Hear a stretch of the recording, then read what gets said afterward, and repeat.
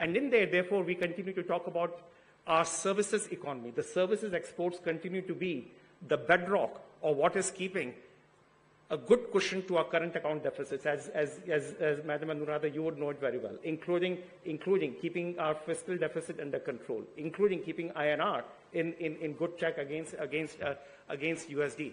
Um, this industry contributed about $390 billion uh, and grew about 13.6% year over year.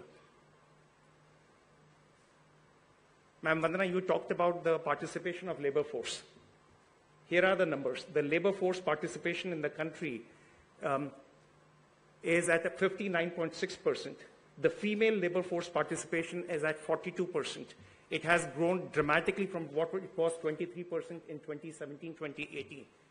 Having said this, a significant portion of that growth actually has come from rural part of the country. There is much more that needs to happen in the urban part of the countries. There is much more that the GCCs have to do. And there is much more that the states and the governments in the states have to do to create an infrastructure and to create an environment where females can participate through the life cycle of uh, life cycle changes that they go through um, in supporting the families. India's favorable demographic dividend, you talked about it, um, Ma'am Vandana, but um, it's worth highlighting that um, India is the highest producer of, of women STEM graduates in the world. And the investments in AI infrastructure. Look, uh, when we talk about AI we, in the world, we are talking a lot about, about the US and China.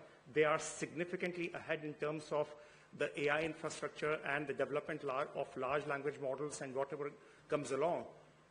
I want to submit to you that India is the third most important pillar in that stool, in that table. There is no other country that will contribute uh, as much in leveraging AI and in deploying AI at scale to the enterprises as India would.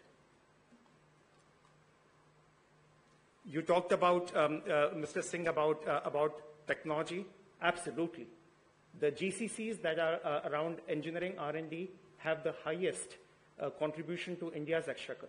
The per employee revenue um, that, that gets added um, uh, and, and, the, and, the, um, and the scale is, at about, is, is significantly higher than the traditional um, business process outsourcing rules.